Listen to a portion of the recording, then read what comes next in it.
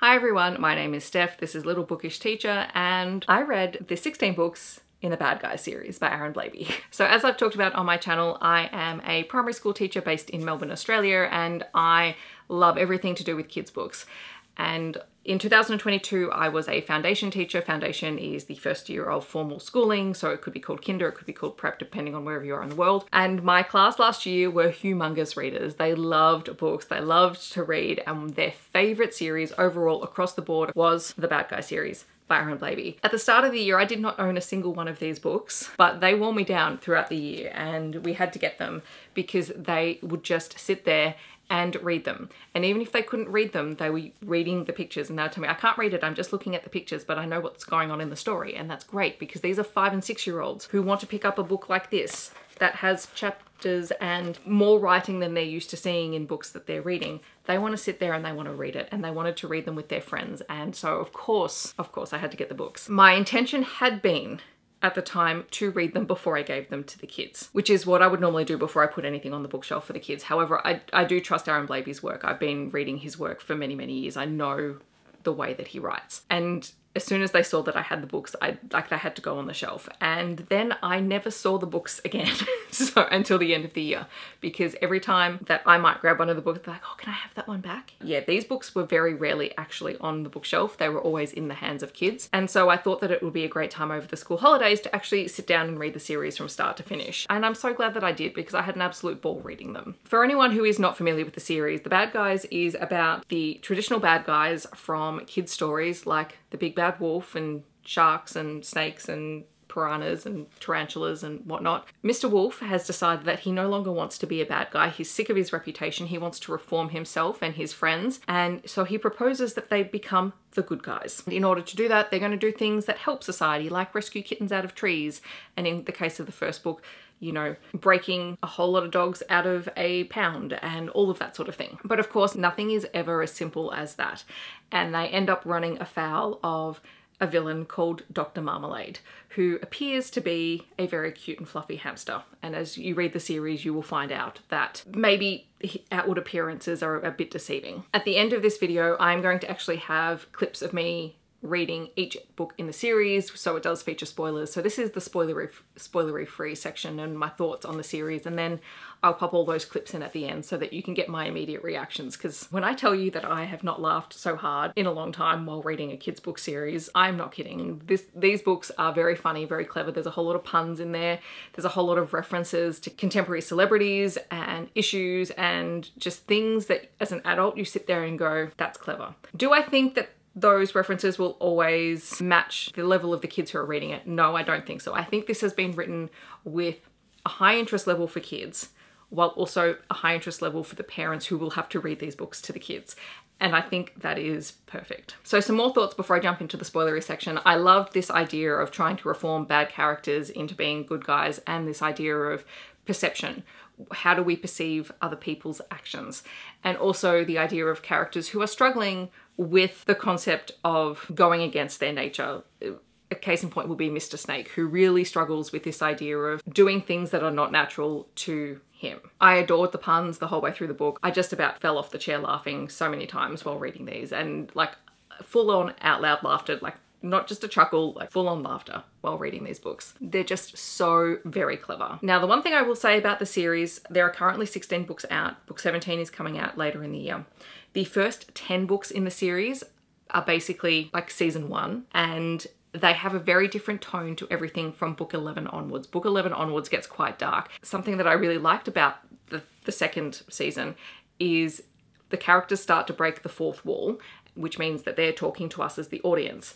So when they're referencing something that happened in the first 10 books, one of the characters might, you know, just go, you know, that thing that happened in episode four, maybe around page 155.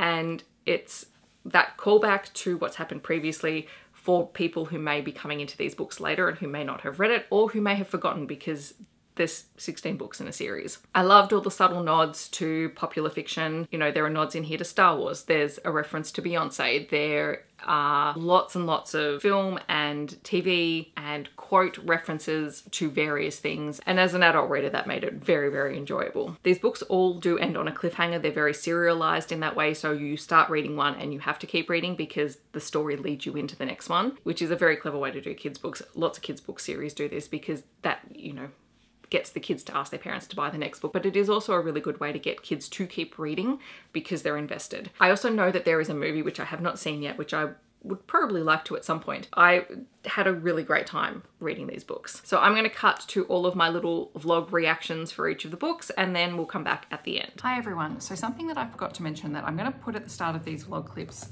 in regards to the bad guys is the format of the book. So they are a reasonable sized book. There's about 140 pages in each of the first season and then it jumps up to about 180 pages in from book 11 onwards. But these are kind of a cross between an early reader and a graphic novel.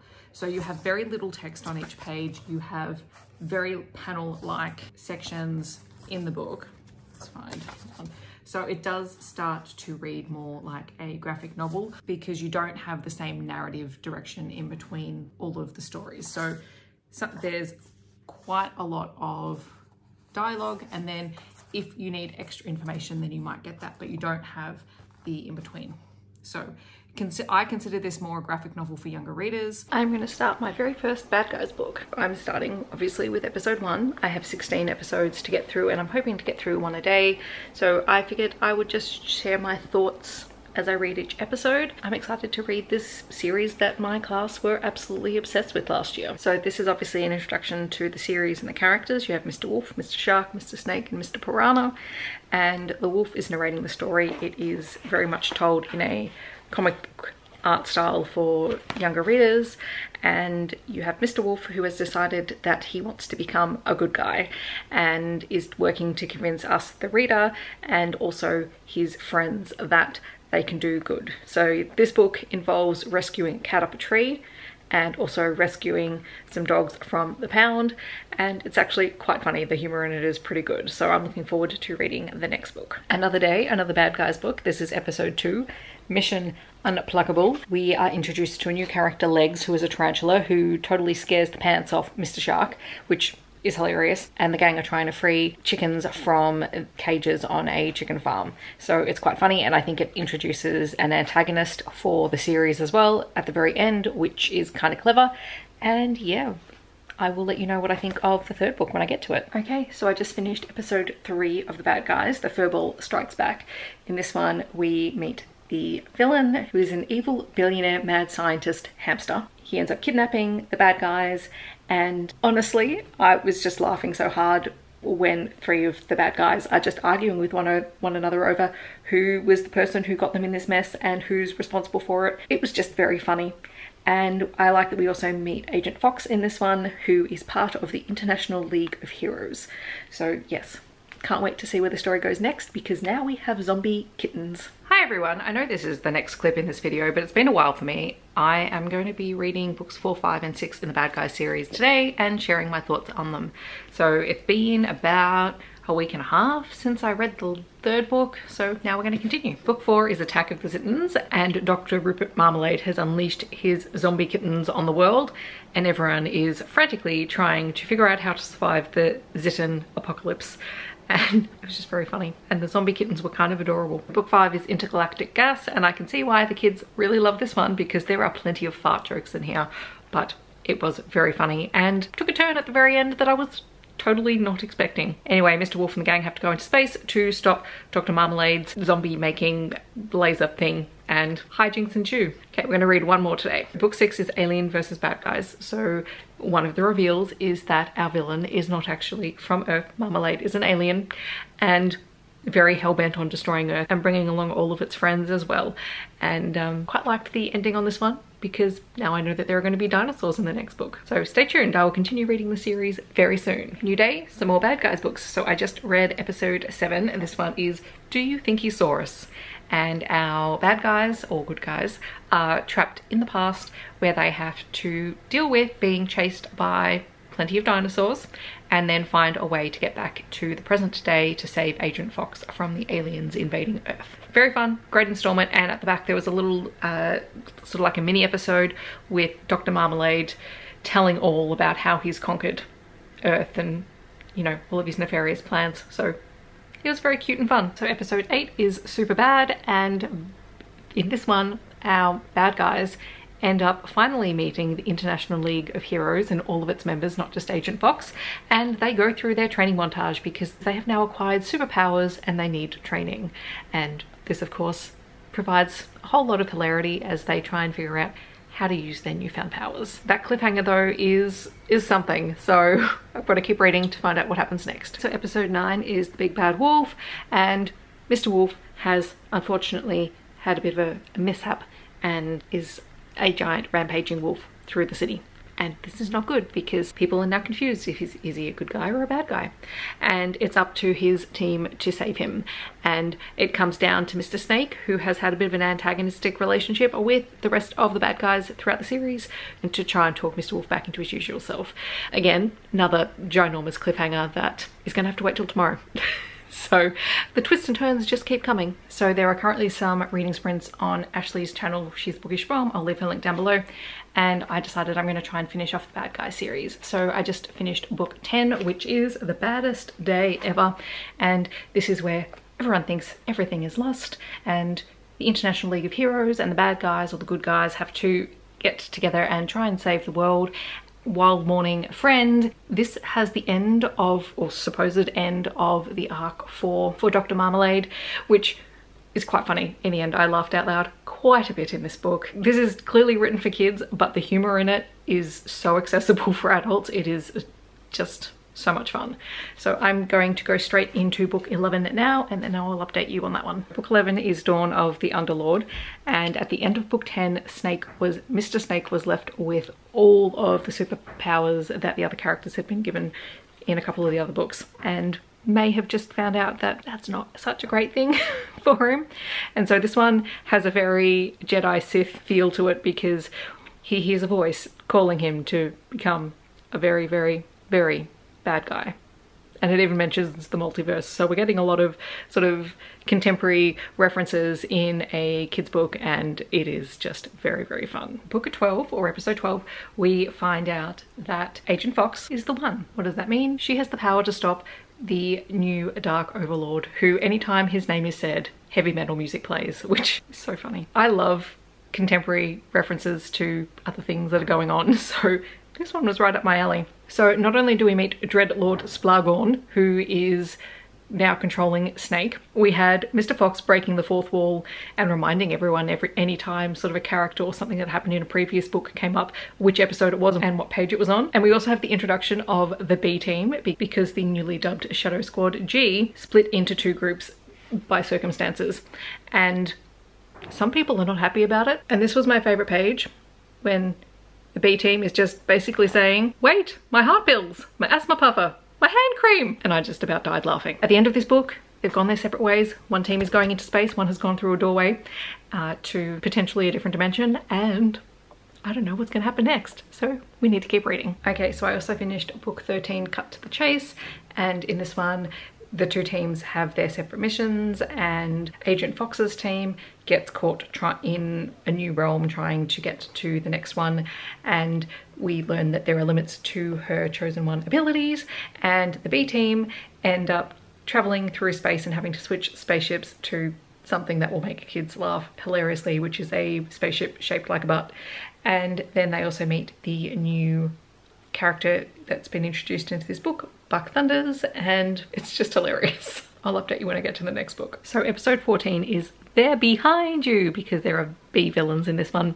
And so of course, one of the villains or one of the underlords who's chasing around our heroes is Queen Bee on say.